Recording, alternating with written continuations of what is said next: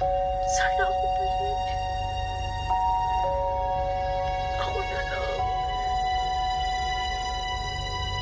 Ako na lang ulit. Mahal ko